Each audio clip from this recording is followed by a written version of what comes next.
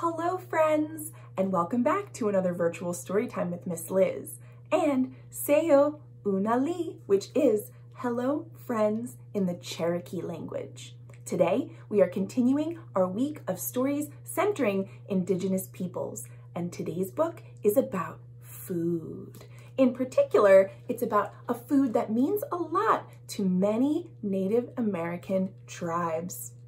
The story for today is called Fry Bread, a Native American family story. It's written by Kevin Noble Maillard and illustrated by Juana Martinez Neal, and it's published by Macmillan Publishers. Let's see what's gonna happen. Hmm, if you look on the inside of this cover, there are all these names. We're gonna find out later in the story what these names are and what they mean. Fry Bread, a Native American family story by Kevin Maillard, illustrated by Juana Martinez Neal. Fry bread is food. Flour, salt, water, cornmeal, baking powder, perhaps milk, maybe sugar, all mixed together in a big bowl. Looks like all of these kids have ingredients to put in this bowl to make some bread together. Ooh, looks yummy. Fry bread is shape. Hands mold the dough, flat like a pancake, round like a ball, or puffy like Nana's softest pillow. There are many different ways that it's being made. Fry bread is sound. The skillet clangs on the stove.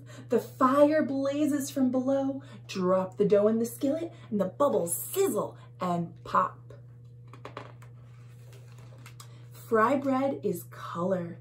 Golden brown, tan or yellow, deep like coffee, sienna or earth, light like snow and cream, warm like the rays of the sun. There are many ways to make it and many ways that it can look when it's finished. And you know what? I think it can be yummy in all these different ways. Fry bread is flavor. See beans or soup, smell tacos, cheese and vegetables, delight in honey and jam, rise to discover what brings us together. Here are so many things that can be paired with the fry bread, sweet and savory. Mm. Fry bread is time. On weekdays and holidays, supper or dinner, powwows and festivals, moments together with family and friends. Don't they look like they're having a nice time? Fry bread is art, sculpture, landscape, portrait, our daily craft, shared from teacher to student, a cycle of heritage and fortune. And I learned in the notes in the back of this book that there are often folks in Native American families that pass down their recipe of fry bread from generation to generation like a special secret. Fry bread is history, the long walk, the stolen land, strangers in our own world. With unknown food, we made new recipes from what we had. I also learned in the back of this book that some people say that the Navajo tribe are the tribe that invented fry bread back about 150 years ago when they were told they had to leave their home in what is now Arizona and move far away to what is now New Mexico. It was a journey of over 300 miles. And when the Navajo got to their new homes, the homes that they didn't ask to be moved to, they realized that they couldn't find the same food or grow the same food that they were used to in their old lands. So they had to make new foods. And it said that fry bread is one of the foods that they made when they had to find new ways to nourish themselves. Fry bread is place. Alaska, Kansas, all the way to Maine, down to Delaware, on to Georgia, over to Oklahoma, Colorado, and California. Cities and lands we call home.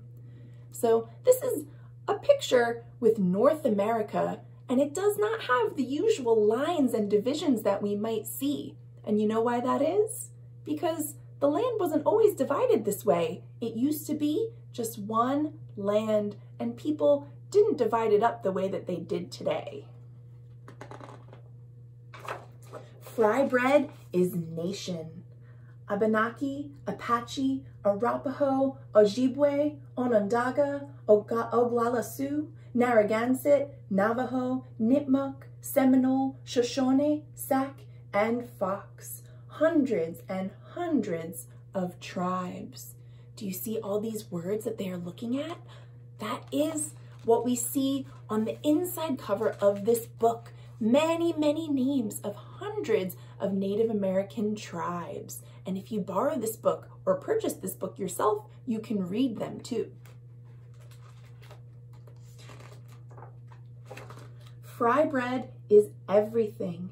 Round, flat, large, small, north, south, east, west, brown, yellow, black, white, familiar and foreign, old and new, we come together. Fry bread is us. We are still here, elder and young, friend and neighbor.